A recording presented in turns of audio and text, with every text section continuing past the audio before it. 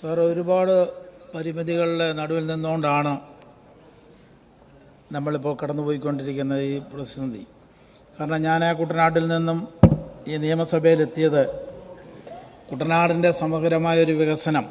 കുട്ടനാടെന്ന് പറയുമ്പോൾ സാർ ഒരുപാട് കണക്റ്റഡ് ആയിട്ടുള്ള അപ്പർ കുട്ടനാടുണ്ട് ലോവർ കുട്ടനാടുണ്ട്. എന്ന് പറഞ്ഞു കഴിഞ്ഞാൽ തിരുവല്ല നമാത്തുറ്റി തോമസിന്റെ സ്ഥലം സജി ചെറിയാന്റെ സ്ഥലം നമ്മുടെ പ്രിയങ്കരനായ M L A Changanassery M L A ഉൾപ്പെടെ ഇരിക്കുന്നവരുടെ പ്രദേശമാണ് കുട്ടനാട്.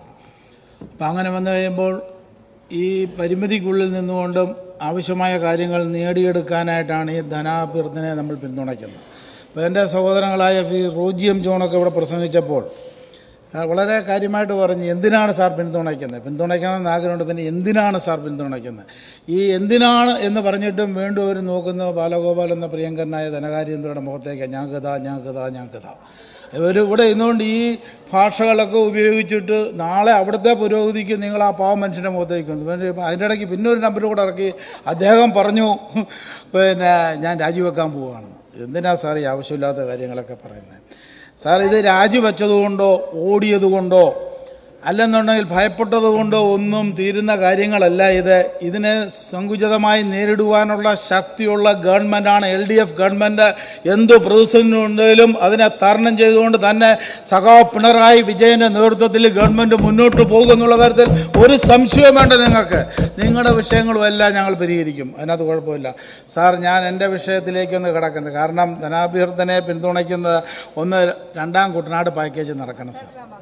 കാരണം മന്ത്രിസ്ഥാനം വിട്ടായിരുന്നു അത് കുഴപ്പമുള്ള കാര്യമല്ല. അതൊക്കെ മറന്ന കാര്യങ്ങളാണ്. കാരണം ഇപ്പം നമുക്ക് അത്യാവശ്യമായിട്ട് വേണ്ടത് കുട്ടനാട്ടുകാരായ ഞങ്ങളുടെ പ്രിയപ്പെട്ടവർ കാരണം സാർ ഞാൻ പതിമൂന്ന് പഞ്ചായത്തിനെ പ്രതിനിധീകരിച്ചാണ് ഇവിടെ വന്നിരിക്കുന്നത്. നൂറ്റി എൺപത്തിയൊന്ന് വാർഡുണ്ട് ഞങ്ങൾക്ക്. സാർ ഈ കഴിഞ്ഞ ദിവസം അവിടെ ഒരു നല്ല വള്ളംകളി നടന്നു മൂലം വള്ളംകളി. നാനൂറ്റി മുപ്പത് വർഷത്തെ പഴക്കമുള്ള ഒരു വള്ളംകളിയാണ്.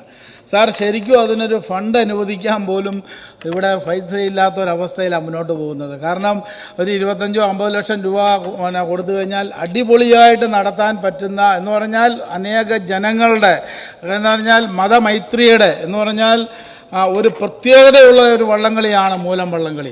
സാർ അതിനെ പോലും സഹായിക്കാനായിട്ട് പറ്റാത്തൊരവസ്ഥയിൽ നമ്മളെ വരിഞ്ഞു മുറുകി കെട്ടിയിരിക്കുകയാണ് കേന്ദ്ര ഗവൺമെന്റ് ഈ ഒരു പ്രത്യേകമായ സാഹചര്യത്തിൽ ഇതിനെ ഒന്ന് അതിജീവിക്കാൻ നിങ്ങളും ഞങ്ങളും കൂടെ ചേർന്ന് നിന്നുകൊണ്ട് വേണ്ടേ അതിന് അതിനെ പ്രതിരോധിക്കാനായിട്ട്? അപ്പം നിങ്ങൾ കുറ്റം പറയുന്നതൊക്കെ നിർത്തിയിട്ട് ആവശ്യമായിട്ടുള്ള വികസനം നടത്താൻ പ്രിയങ്കരനായ നമ്മുടെ പിന്നെ ധനകാര്യ മന്ത്രിയുടെ കൈകൾക്ക് ബലം കൊടുക്കുന്ന രീതിയിലൊന്ന് പ്രസംഗിക്കാൻ നിങ്ങൾക്ക് മനസ്സില്ലാ പോകുന്നതിന്റെ കാരണം എന്നാ? അപ്പം നിങ്ങൾക്ക് അങ്ങനെ ഒരു മനസ്സുണ്ടാകണം. ഉണ്ടായെങ്കിൽ മാത്രമേ കാര്യങ്ങൾ നല്ല രീതിയിൽ മുന്നോട്ട് പോകത്തുള്ളൂ. സാർ ഇവിടെ നെല്ല് സംഭരിക്കുന്ന ഞാൻ പറഞ്ഞല്ലോ ഞാൻ പ്രതികരിക്കുന്നത് ഇവിടെ നൂറ്റി നാൽപ്പത് എം എൽ എമാരുണ്ട് നൂറ്റി നാൽപ്പത് എം എൽ എമാരും പ്രതിനിധീകരിക്കുന്ന ഓരോരോ മണ്ഡലങ്ങളാണ്. അതനുസരിച്ച് നമുക്ക് അവിടുത്തെ കാര്യങ്ങളെല്ലാം നടത്തിയെടുക്കേണ്ട ചുമതല എം എൽ എയുടെ മേളിലുള്ളതാണ്. അപ്പോൾ ഈ നിയമസഭയിൽ വന്ന് ഈ കാര്യങ്ങൾ പറഞ്ഞെങ്കിൽ മാത്രമേ കാര്യങ്ങൾ നടക്കത്തുള്ളൂ. അതുകൊണ്ട് അതിനുള്ള അവസരം നമ്മൾ തക്ക സമയത്ത് തക്ക രീതിയിൽ ഉപയോഗിച്ചുകൊണ്ടിരിക്കുകയാണ്. സാർ നെല്ല് സംഭരണം വലിയൊരു വിഷയമാണ്. കാരണം കേന്ദ്രത്തിൽ നിന്ന് കിട്ടാനുള്ള പൈസയും കൂടെ കിട്ടിയെങ്കിൽ മാത്രമേ നമുക്ക് കാര്യങ്ങൾ നടക്കത്തുള്ളൂ. നെല്ല് സംഭരിച്ചാൽ ആ തക്ക സമയത്ത് അവർക്ക് പൈസ കൊടുക്കണം. സാർ മട വീണ് പോകാൻ സാധ്യതയുണ്ട് പല സന്ദ- സന്ദർഭങ്ങളിലും. ഇങ്ങനെയുണ്ടെങ്കിൽ അവരെ ഒരു കൈത്താങ്ങൽ കൊടുത്തെങ്കിലേ ഒക്കത്തുള്ളൂ. കാരണം കർഷകർക്ക് കൃഷിക്കാർക്ക് ആവശ്യമായിട്ടുള്ള സഹായങ്ങൾ നൽകിയെങ്കിൽ മാത്രമേ ഈ ദേശം മുന്നോട്ട് പോകത്തുള്ളൂ സാർ. ഇതൊന്നും മനസ്സിലാക്കാതെ നമ്മൾ എപ്പോഴും കുറ്റം പറയുന്ന രീതിയിൽ നിന്നൊന്നും മാറി ചിന്തിക്കേണ്ടത് ആവശ്യമാണ്. സാർ കുട്ടനാട് പാക്കേജ് എന്ന് പറയുന്ന പോലെ കുട്ടനാട് സമഗ്ര കുടിവെള്ള പദ്ധതിയുണ്ട്. നാനൂറ്റി ശിഷ്ടം കോടി രൂപ അനുവദിച്ചിട്ടുണ്ട്. സാർ ഇതിനൊക്കെ പൈസ വേണ്ടയോ? കാരണം ഈ ജനങ്ങൾ മൂന്ന് ലക്ഷത്തി അമ്പതിനായിരത്തിൽ പലം ജനങ്ങൾ കുട്ടനാട്ടിൽ നോക്കിയിരിക്കുകയാണ് ഈ കുടിവെള്ള പദ്ധതിയുമായിട്ട് ബന്ധപ്പെട്ട്. സർ ഇതെല്ലാം നടത്തിക്കൊണ്ട് പോകണമെന്നുണ്ടെങ്കിൽ ഗവൺമെന്റിന്റെ കാശുണ്ടെങ്കിൽ മാത്രമേ കാര്യങ്ങൾ നടക്കത്തുള്ളൂ. നമ്മുടെ എന്താണ് സാർ ശരിക്കും കേരളത്തിന്റെ വരുമാനം എന്നാണ്. സാർ ഞാൻ കുവൈറ്റിൽ ഏകദേശം നാൽപ്പത് വർഷം ജോലി ചെയ്ത ആളാണ്. ഒരു സെക്കൻഡ് അവരുടെ വരുമാനം എന്ന് പറഞ്ഞാൽ ഒരു ലക്ഷം ഡിനാറാണ്. ഒരു ഡിനാർ എന്ന് പറയുന്നത് ഇരുന്നൂറ്റി എഴുപത്തിരണ്ട് രൂപയാണ്. അപ്പം നിങ്ങൾ ചിന്തിക്കണം ഒരു സെക്കൻഡിൽ അവരുടെ വരുമാനം അതാണ്. സാർ നമ്മുടെ വരുമാന മാർഗം എന്തുവാ? ജി എസ് ടി പിന്നെ വരുമാന മാർഗം എന്തുവാ? ടൂറിസം വേറെ വരുമാന മാർഗം എന്തുവാ? പിന്നെ മറ്റു മറ്റുള്ള ബീവറേജ് ഷോപ്പിന്റെ ബിസിനസ്സും അല്ലാത്ത കാര്യങ്ങളും എന്താ സാർ കേരളത്തിന് ശക്തമായ രീതിയിലുള്ള വരുമാനം എന്താണുള്ളത്? ഒരു വരുമാനവുമില്ല. അപ്പോൾ ഇങ്ങനെയുള്ള സാഹചര്യത്തിൽ ഈ കേരളത്തെ കാരണം നിങ്ങൾ ഒത്തിരി വർഷങ്ങൾ പിന്നെ ഭരിച്ചവരല്ലേ സാർ ഒരുപാട് കാലങ്ങൾ നിങ്ങൾ കേന്ദ്രം ഭരിച്ച ആൾക്കാരല്ലേ യു ഡി എഫുകാർ അല്ലെങ്കിൽ കോൺഗ്രസ്സുകാർ? ഏറ്റവും പ്രിയങ്കരനായ പ്രധാനമന്ത്രി ശ്രീമതി ഇന്ദിരാഗാന്ധി മുതൽ ഇങ്ങോട്ട് ഏറ്റവും പ്രഗത്ഭമായ രീതിയിൽ ഭരിച്ച ആൾക്കാരാണ്. എന്തുകൊണ്ടാണ് ഒരു പ്രത്യേകത ഈ കേരളത്തിന് തരാഞ്ഞത്? ഒരു നല്ല രീതിയിലുള്ള സംവിധാനം ഉണ്ടാക്കാഞ്ഞത്?